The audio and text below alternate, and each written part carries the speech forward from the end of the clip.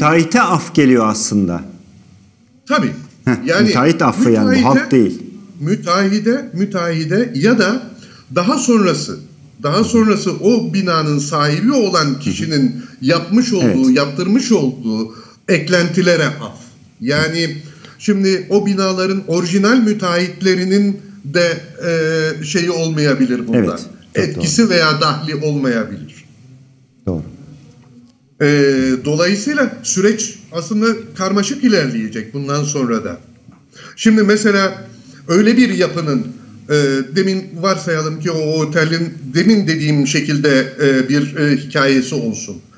Onun orijinal müteahhiti de farklı birisi olsun. Sonraki eklentiler veya niteliğinin değiştirilmesinden o kişinin ne kadar şeyi olabilir, sorumluluğu olabilir. Bir yapının orijinal haline müdahale ediyorsanız riskini artırıyorsunuz demektir teknik açıdan. Ee, vasfını değiştiriyorsanız riskini artırıyorsunuz. Yani mesela otel e, yani konut amaçlı bir şeyi otele çeviriyorsanız mutlaka içeride e, önemli tadilatlar yapılıyor, yapıyorsunuz demektir. Yapısal elemanlarına müdahale edecek tadilatlar yapıyorsunuz demektir. Bundan sorumlu ondan so- e, bundan sorumlu nasıl olabilir oranın proje müellifi ya da e, işte nasıl diyeyim orijinal fenli mesulü. O yüzden bu süreçler e, yani e, e, imar afları aynı zamanda da belki baştan kusurlu olan şeylerin de önünü de kapatıyor ya da baştan düzgün olan şeyleri de e, ilk e, yapanlar çerçevesinde kusurlu kusurlu e, koltuğuna oturtuyor. Faili de O gizliyor anlamıyla böylece da değil mi? karmaşık bir süreç e, olacaktır bu, bu Yani süreç. esas sorumluları da gizlemiş oluyorlar böylece hani Evet, kim izin verdi, kim da- onayladı, kim denetledi, kim buna göz yumdu işinin içine çıkılmaz hale geliyor bu sefer.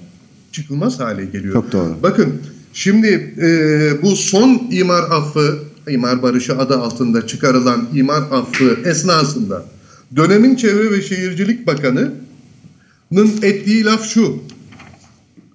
E, Mehmet Özhaseki. Esas iki.